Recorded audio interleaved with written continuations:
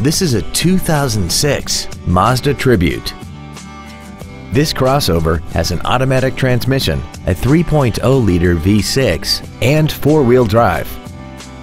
Features include 100% commercial-free Sirius satellite radio, a multi-link rear suspension, cruise control, an engine immobilizer theft deterrent system, front and rear floor mats, front fog lights, roof rails, rear impact crumple zones, air conditioning, and aluminum wheels.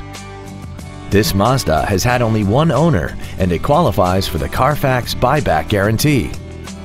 This vehicle is sure to sell fast. Call and arrange your test drive today.